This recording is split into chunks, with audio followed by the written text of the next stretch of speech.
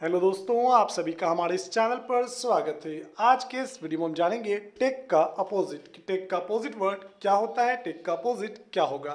तो दोस्तों, आपसे रिक्वेस्ट है कि आप इस वीडियो को बिना स्किप किए पूरा इन तक देखेंगे और हमारे इस चैनल को सब्सक्राइब और वीडियो को लाइक ज़रूर करेंगे। चलिए दोस्तों, सबसे पहले जान लेते हैं टेक का मीनिंग। तो टेक का मतलब होता है लेना। टेक इट, ले लो, इसे ले लो। टेक का मतलब होता है लेना। और इसका अपोजिट वर्ड होगा गिव।